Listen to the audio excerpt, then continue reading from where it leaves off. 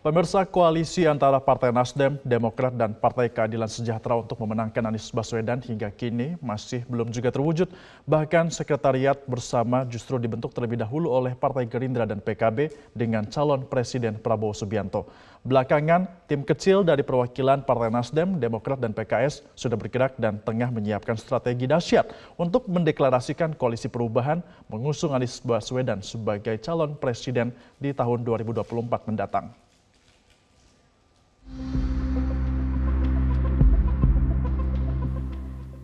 Hari demi hari, kekompakan parpol pengusung Anies Baswedan sebagai calon presiden pada Pilpres 2024 semakin terlihat.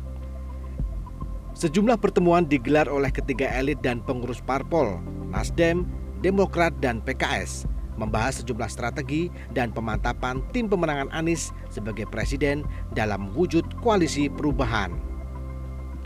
Tidak lama lagi koalisi perubahan akan segera dideklarasikan dengan terlebih dahulu membentuk tim kecil koalisi perubahan yang kemarin digelar di kediaman Anies Baswedan.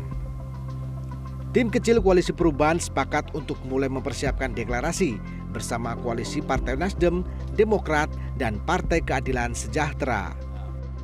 Tadi kita mendengar penjelasan bahwa hari ini eh, teman-teman koalisi berkumpul di kediaman Pak Anies dan itu forum rutin berjalan terus kadang-kadang sepekan dua kali kadang-kadang sepekan tiga kali tapi setiap pekan pasti ada pertemuan dan hari ini bertemu untuk mendengar berbagai progres atau update dari masing-masing partai politik. Sekjen Partai Demokrat Teguh Rifi Harsa menyatakan target utama saat ini adalah agar setiap partai dalam koalisi menyatakan sikap mendukung Anies Baswedan sebagai calon presiden dan mencapai deklarasi 20 persen. Kemarin Ketua Umum Partai Demokrat Agus Harimurti Yudhoyono telah menyampaikan posisinya secara terang benderang terkait untuk mengusung ya, Pak Anies Baswedan sebagai calon presiden 2024. Nah tentu harapan kami adalah bahwa tiga partai segera menandatangani menandatangani uh, dukungan untuk Pak Anies uh, sebagai calon presiden. Optimisme deklarasi koalisi perubahan ditegaskan juga oleh Ketua Majelis Suro PKS Sohibul Iman. PKS memastikan akan mendukung Anies dengan harapan memenangkan kontestasi Pilpres 2024 mendatang. Nah kami di PKS tentu juga terus melakukan proses internal kita dan pada waktunya kami tentu juga akan menyampaikan deklarasi sebagaimana eh, Nasdem maupun Demokrat. Mungkin banyak yang bertanya, apa benar PKS ini dukung Pak Anies? Saya katakan kalau saya, PKS tidak dukung Pak Anies, maka tidak mungkin saya ada terus-terusan di dalam tim kecil ini. Saya dalam tim kecil ini adalah merupakan utusan resmi partai. Jadi kalau saya terlibat di tim kecil ini, menunjukkan bahwa memang PKS dukung Pak Anies. Sementara itu, Partai Nasdem sebagai inisiator dan pengusung pertama Anies sebagai calon presiden mengisyaratkan deklarasi akan digelar dalam waktu yang tepat.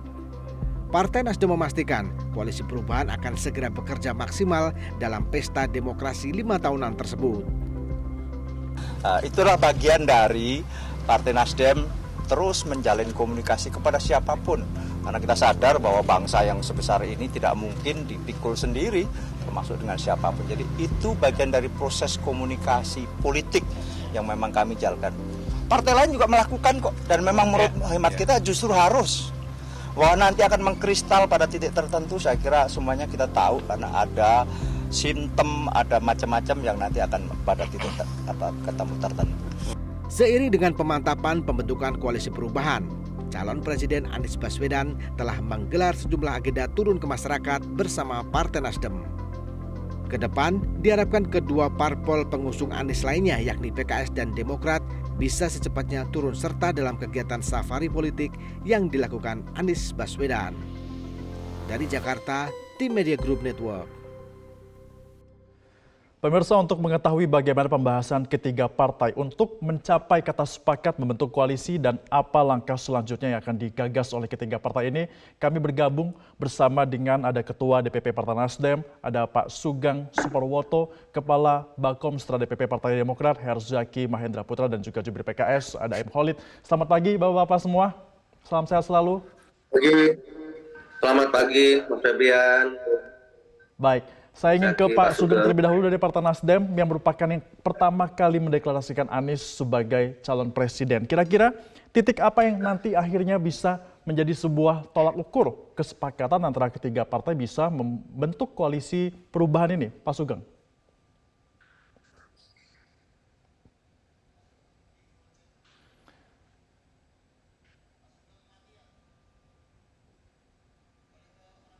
Baik, nampaknya Pak Sugeng uh, masih mencoba untuk dapat men berkomunikasi dengan kami melalui virtual. Pak Herzaki, titik apa kira-kira Pak Herzaki yang nanti ini akan menjadi uh, bentuk dukungan kesepakatan ketiga partai akhirnya bisa membentuk koalisi perubahan? Ya, terima kasih uh, Mas Febrian. Ya, seperti yang disampaikan oleh Ketua Umum kami Mas Ahaye, kami ini mengajak kepada teman-teman PKS dan Nasdem, ya, ayo kita bentuk sekretariat perubahan. Jadi ketiga ketua umum partai ini segera bertemu. Nanti di sekretariat perubahan itu kita tanda tangan nota kesepahaman, nota kesepahaman, ya, yang menunjukkan komitmen kami bertiga akan perubahan dan perbaikan untuk negeri ini sesuai dengan harapan rakyat dan memberikan mandat kepada baca pres untuk segera menentukan uh, baca wapres. Gitu. Nah, di sinilah titik uh, di mana kami kesepakatan itu bisa diresmikan. Karena kalau kita bicara mengenai kesamaan pandangan, ya kami bertiga ini sudah punya kesamaan pandangan. Sudah enam bulan bersama diskusi, berkomunikasi, silaturahmi, ya, merumuskan berbagai hal. Dan kami sudah punya kesamaan pandangan mengenai baca pres, ya. Sikap Demokrat juga sudah sangat jelas. Baca pres kita adalah Mas uh, Anies Baswedan dan kami mengajak teman-teman Nasdem dan PKS, ayo kita resmikan ini. Nah, karena kalau misalnya ditanya, Mas, kenapa nggak langsung deklarasi?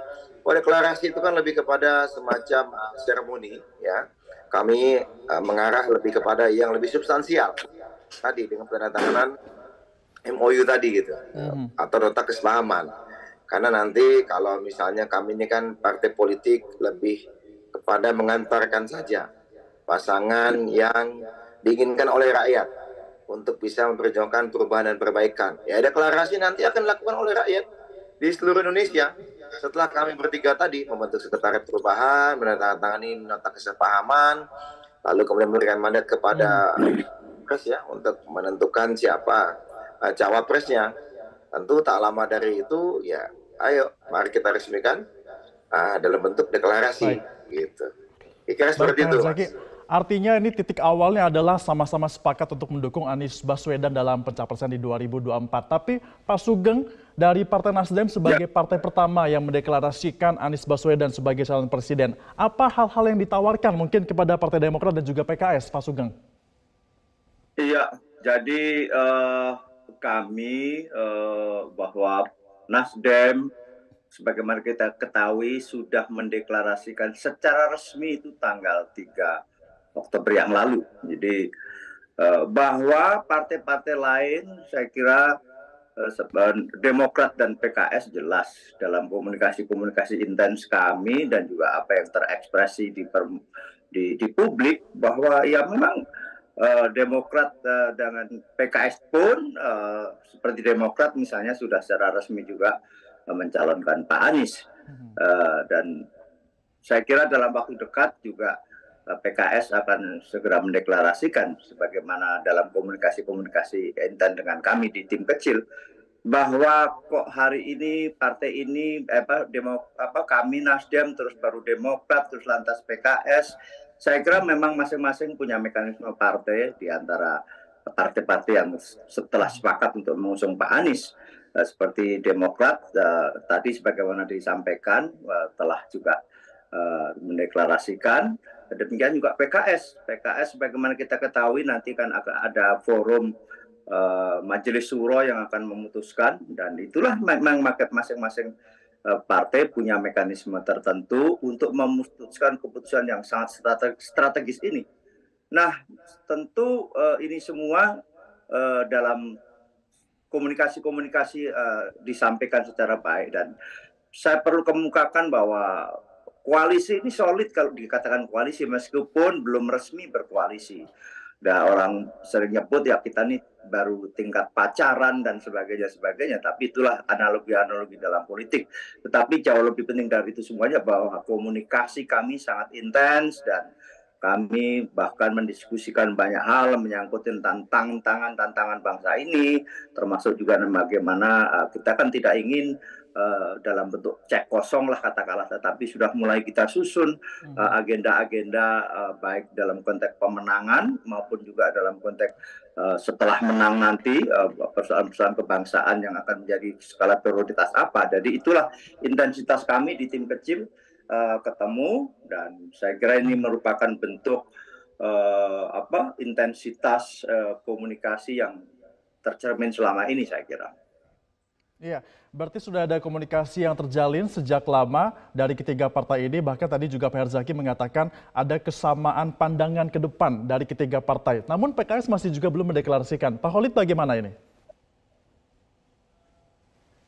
Saya pikir setelah apa yang disampaikan oleh Pak Sugeng tadi sudah sangat tepat ya. Jadi uh, di PKS dan juga kami juga sangat menghormati mekanisme internal di Partai Nasdem yang sudah melakukan deklarasi secara terbuka dan resmi. Kemudian terakhir pernyataan media dari Partai Demokrat yang disampaikan oleh Ketua Umum. Tentu uh, PKS juga memiliki mekanisme internal yang harus dilalui prosesnya terlebih dahulu dan itu keputusan mengenai uh, pencapresan itu dari Majelis Syuro. Jadi DPP Partai Keadilan Sejahtera akan taat dan patuh terkait keputusan deklarasi itu kapan. Namun demikian bahwa komunikasi di tim kecil itu sudah sudah sangat intensif, sudah sangat mendalam dan PKS juga sudah mengirimkan utusan secara resminya yakni Wakil hmm. Ketua Majelis Syuro Dr. Muhammad Soebul Iman yang merupakan representasi resmi dari partai sikap-sikap partai secara resmi disampaikan dalam tim kecil tersebut. Jadi uh, pada prinsipnya, pada pokoknya, profil figur Bapak Anies Rashid Baswedan adalah figur yang sudah uh, mendapatkan apa sesuai dengan kriteria yang ditetapkan oleh musyawarah majelis syuro. Sehingga saya pikir ini hanyalah masalah timing, masalah momentum untuk menentukan kapan akan terjadinya deklarasi bersama dan sebagainya. Oleh karena itu, uh, kami di PKS menyambut baik usulan dari Partai Demokrat untuk menentukan sekretariat bersama untuk memantapkan proses ke tahap berikutnya. Nah, saat ini PKS sedang melakukan proses internalnya iya. di uh, kalangan pimpinan, terutama di Majelis Syuro, hmm. untuk menentukan sikapnya secara resmi. Sehingga ini hanya masalah kita menunggu momentum yang paling tepat, kita ingin memberikan cara yang terbaik, waktu yang terbaik, dan pilihan yang terbaik untuk bangsa Indonesia ke depan. Demikian Mas Febrian. Masih mempertimbangkan dan juga nanti akan menentukan waktu yang terbaik bagaimana untuk segera mendeklarasikan dukungan terhadap Anies Baswedan. Tapi saya ingin ke Pak Sugeng lagi kalau kita kemarin juga ya. lihat Nasdem juga turut berkomunikasi dengan PKB dan juga Gerindra yang sudah membentuk Sekber. Tawaran ini juga tentunya peluang ini ada juga tawaran untuk Demokrat dan juga PKS. Apakah kalau tidak segera dideklarasikan, tidak khawatir kedua partai ini bisa beralih ke koalisi yang lain, Pak Sugeng? Iya beginilah bahwa kami Nasdem, saya kira juga Partai uh, Demokrat dan juga PKS, kami ini sebagai partai terbuka yang terus melakukan komunikasi dengan seluruh uh, pemangku kepentingan Republik yang besar ini, gitu, dari kita komunikasi dengan antar partai, ya, juga dengan kita komunikasi dengan uh, apa tokoh-tokoh uh, masyarakat dan sebagainya, tokoh-tokoh bangsa dan sebagainya. Uh, itu bagian dari ya namanya partai politik partai politik memang harus demikian. Kami tidak berpretensi sebagai partai yang apa serba paling ini paling itu tidak kita dalam dalam kita komunikasi untuk mencapai koalisi di tingkat Demokrat dengan PKS misalnya kita juga bapak memposisikan diri bahwa kita semuanya adalah equal itulah pandangan uh, kami cara bersikap dan sebagainya sehingga kami juga terus melakukan komunikasi politik dengan siapa pun, dengan partai-partai apa pun. Kita tidak menutup uh, apa kemungkinan-kemungkinan bahwa partai uh, bisa saja terjadi berbagai kemungkinan. Tetapi yang sudah sangat intens dengan berbagai pemahaman uh, dan sebagainya dan insya Allah nanti akan mengkristal setidaknya hmm. hari ini sudah tiga partai ini yakni Nasdem, Demokrat dan PKS sekali lagi itu uh, ini adalah dalam rangka silaturahmi uh, komunikasi politik biasa kepada siapa pun tetapi tidaklah lantas uh, bersifat zero sum game kalau kita blok yeah. ini maka membatalkan blok lain tidak sama sekali tidak kalau komunikasi politik akan blok. terus terbuka peluang itu akan selalu ada yeah. untuk dapat menjalin silaturahmi antar partai sudah mengkristal adalah pastinya yeah. adalah Demokrat dan uh, Baik, saudara Pak Sugeng. PKS Tapi ini. Pak Sugeng yang menjadi ya. menarik juga adalah Demokrat dalam hal ini nampaknya juga ingin menawarkan ketua umumnya AHY untuk menjadi cawapres. Apakah ini harga mati dari Demokrat? Bagaimana Pak Herzaki? Tapi tahan dulu karena kita akan bahas selengkapnya terkait dengan cawapres ini. Pemirsa tetap bersama kami dalam Metro Pagi Prime Time.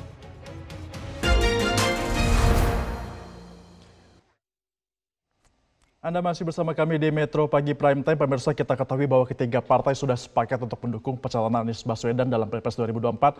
Namun untuk cawapres ini masih belum ada nama siapa yang akan maju dan juga dideklarasikan. Apakah nantinya ini juga menjadi hal yang akan dipertimbangkan dalam ke koalisi nantinya? Pak Herzaki bagaimana dari Demokrat?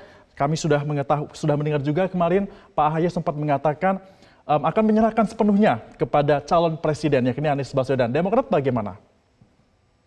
Ya, pertama begini Mas, nah, seperti yang disampaikan oleh Ketua Umum kami Mas Ahaye kemarin, bagaimanapun wajar dan sah saja jika setiap calon anggota koalisi, setiap partai calon anggota koalisi memiliki aspirasi uh, agar kader utamanya bisa menjadi uh, baca wapres. Tapi dari kami memandang jangan kemudian diskusi mengenai baca wapres ini menghambat proses pembentukan koalisi.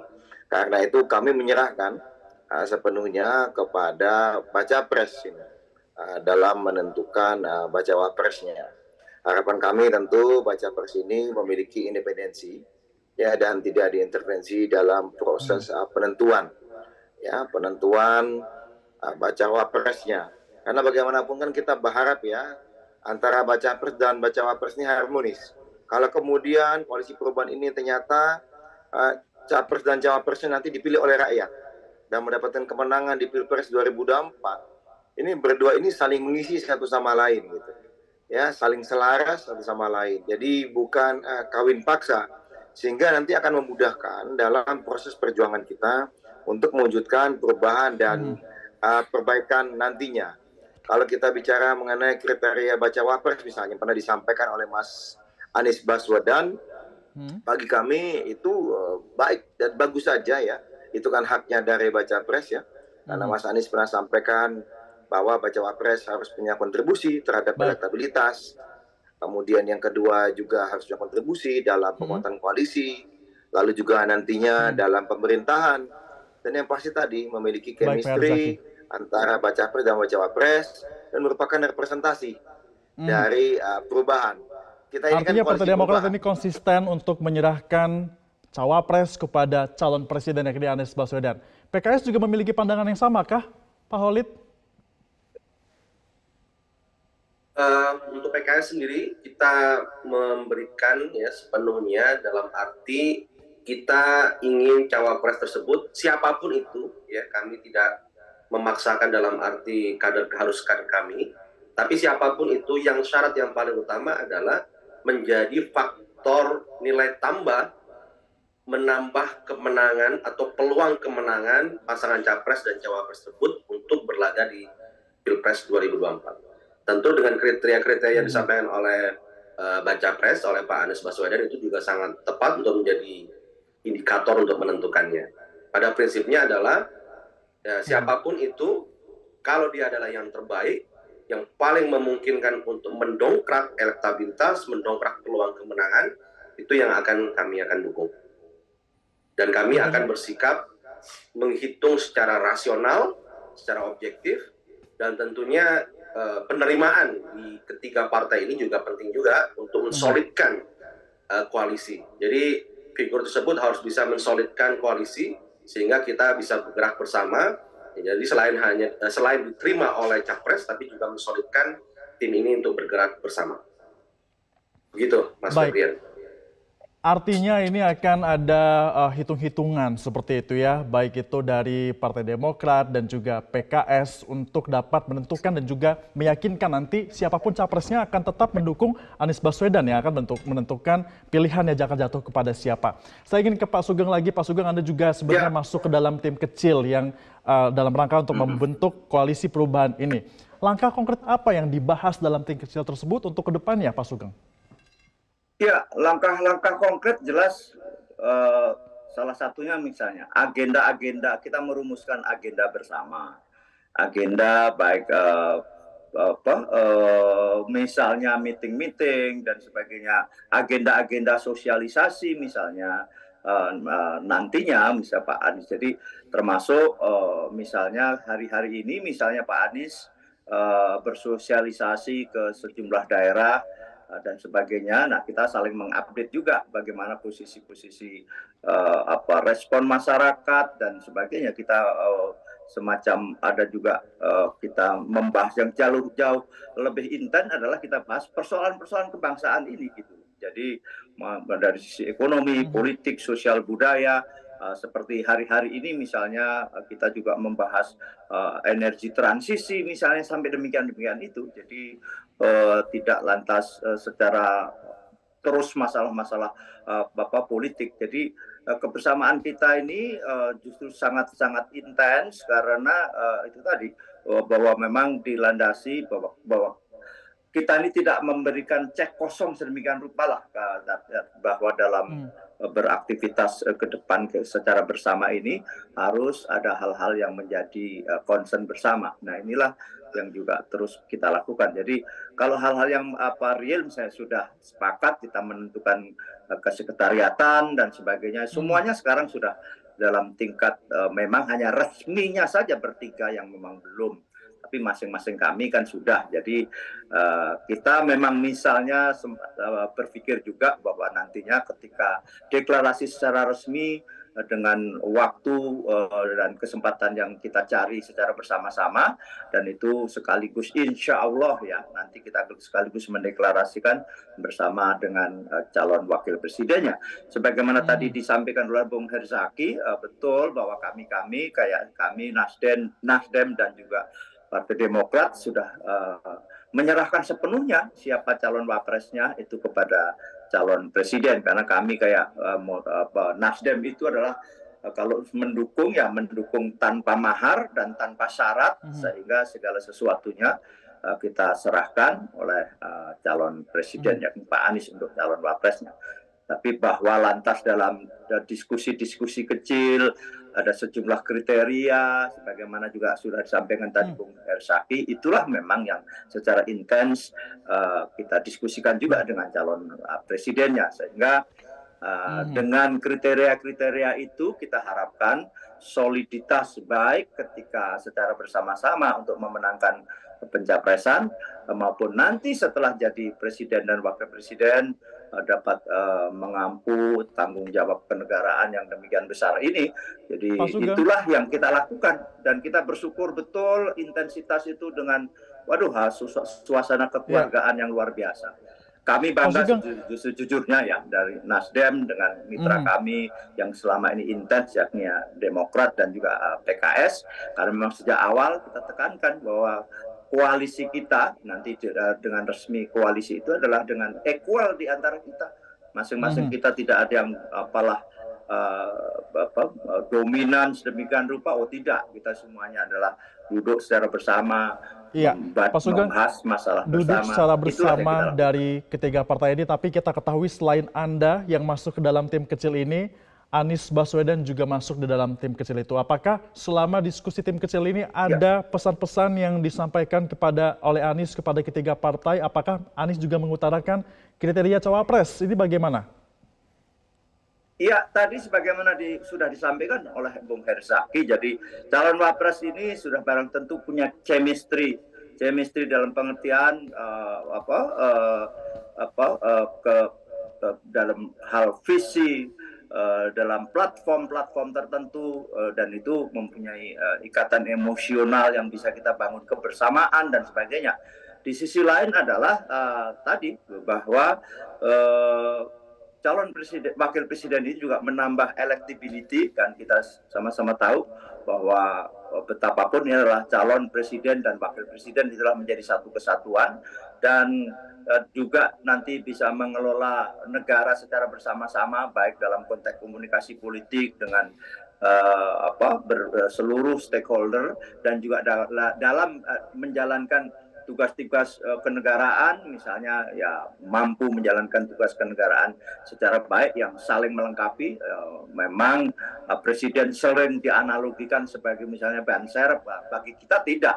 Bahwa presiden adalah secara integral bagian integral dari uh, sistem uh, presidensial kita wakil presiden itu. Jadi saling melengkap melengkapi itulah sehingga uh, semua pastinya hmm. dihadapkan pada tantangan-tantangan ke depan sehingga secara bersamaan Pak Anies eh, yang sebagaimana kita ketahui punya mempunyai kapasitas yang sudah kita tidak ragukan semuanya dan juga demikian nanti secara apa sinergik dengan wakil presiden dan kabinetnya sudah barang tentu nantinya iya. mampu menghadapi persoalan-persoalan kebangsaan itu yang kita diskusikan hari-harinya Gitu. Diskusi terus dilakukan secara bersamaan juga silaturahmi antara parpol ya. juga masih terus berlangsung dari Nasdem dengan partai-partai lainnya.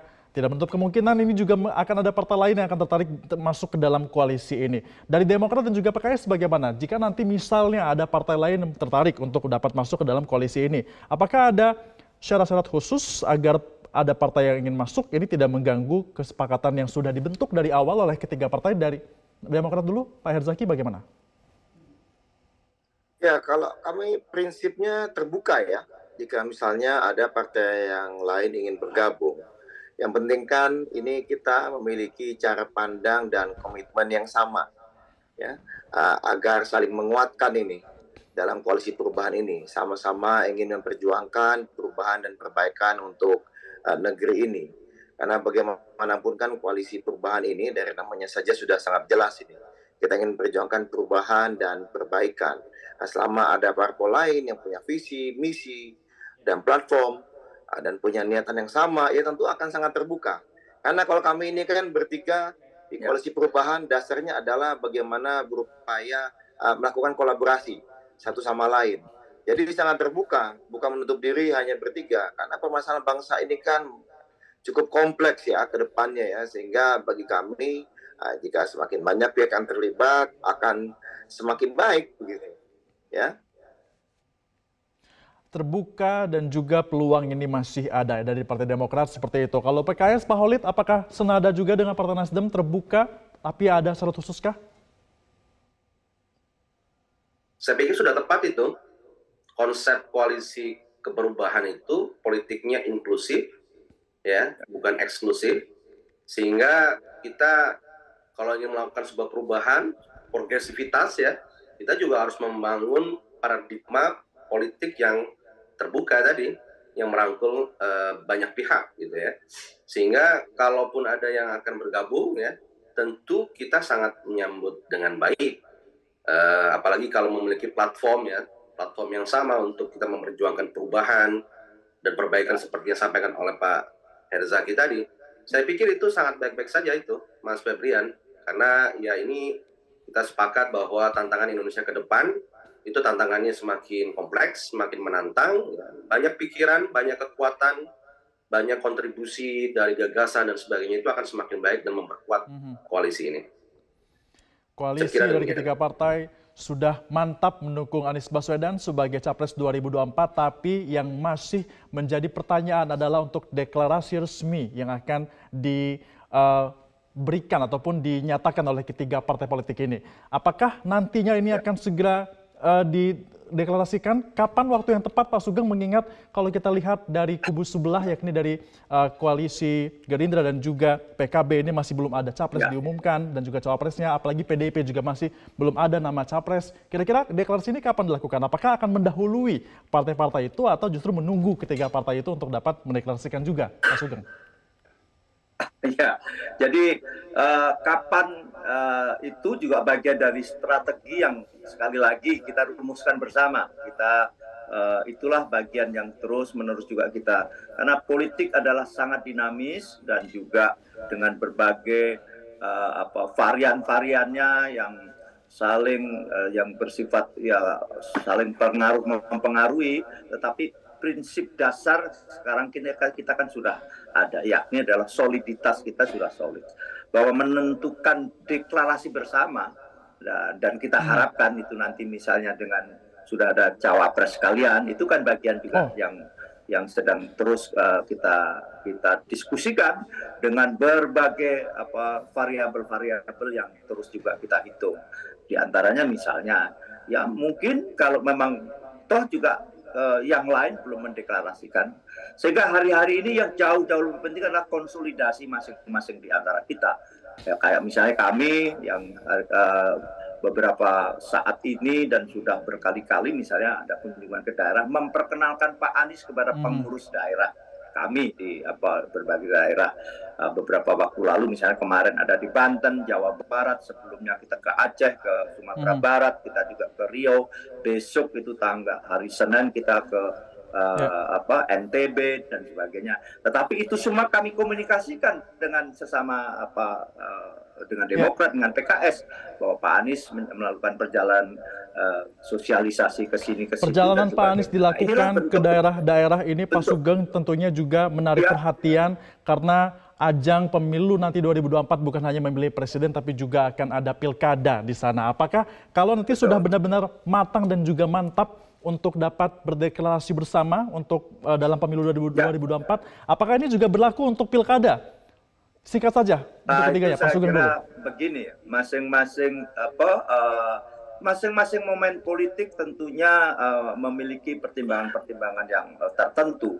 Uh, dan juga pilpres dan pilkada kebetulan kan juga waktunya berbeda kan. Kalau pilpres kan bersamaan dengan pileg ya uh, di bulan Februari tahun 2024 sementara kalau pilkada masih di bulan-bulan uh, uh, di November uh, uh, meskipun tahun yang sama. Saya kira itu tidak tertutup kemungkinan juga bahwa hmm. nanti koalisi itu ya istilahnya uh, koalisi kalau kayak istilahnya air terjun hmm. lah ya di tingkat pusat ya koalisi sampai bawah koalisi bisa saja terjadi.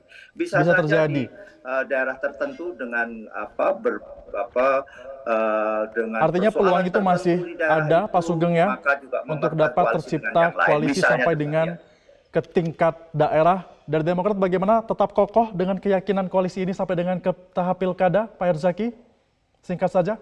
Ya kami Ya kami saat ini fokus pada uh, pilpres ya agar kita bisa memperjuangkan perubahan dan perbaikan itu. Lalu juga agar kami bertiga sama-sama bisa menang juga di pileg punya suara yang cukup signifikan ya. sehingga bisa membantu uh, perjalanan pemerintahan nanti di parlemen gitu agar program-program memperjuangkan perubahan dan perbaikan ini bisa benar-benar terrealisasi. Ya kalau hmm. berbicara pilkada ya terbuka juga kemungkinannya, tetapi tentu kami uh, ingin fokus dulu nih di pilpres dan pileg karena bagaimanapun kan yang terdekat nih pilpres dan pileg dan ini menjadi penting karena kalau misalnya kita tidak menang di pilpres ya hmm. ini amanah rakyat yang menginginkan perubahan dan perbaikan kan tidak bisa kita wujudkan. Gitu. Baik. Gitu. Nah inilah. Artinya Demokrat akan Betul. fokus dulu di pilpres dan juga pileg baru nanti bisa membicarakan sampai dengan ke pilkada. PKS bagaimana Pak Holid? Dari skala prioritas tentu kita akan fokus dulu terkait pilpres dan pileg ya tapi jika kita bicara opportunity, kesempatan, jika ada kesamaan kebatinan politik di level pusat dan di daerah, karena kadang-kadang di pusat di daerah kadang-kadang sama, kadang-kadang tidak sama. Tentu ini yang harus kita dalami terlebih dahulu. Kalau umpamanya sama di pusat dan daerah, why not kita bisa bekerja sama. Jadi saya pikir dari skala prioritas kita fokus dulu kepada pilpres, kita tuntaskan dulu pilpres dan mm -hmm. pileg, tapi jika ada opportunity, peluang untuk bekerja sama di pilkada, ya kita akan membuka diri dengan senang hati. Secara garis besar artinya ketiga partai ini sepakat untuk dapat mendukung Anies Baswedan dan juga fokus terlebih dahulu di Pileg dan juga Pilpres baru nanti bisa akan membahas bagaimana pilkada sukses bersama-sama. Kita akan nantikan bagaimana perkembangan selanjutnya apakah deklarasi akan segera diwujudkan. Kami akan terus nantikan bersama. Terima kasih Sugeng Suparwoto, Ketua DPP Partai Nasdem bergabung bersama kami, Pak Herzaki ya. Mahendra Putra, Kepala Bakomstra Partai Demokrat dan juga M. Khalid, juru bicara PKS sudah bergabung bersama kami dalam Metro Pagi Prime Time. Selamat kembali beraktivitas bapak-bapak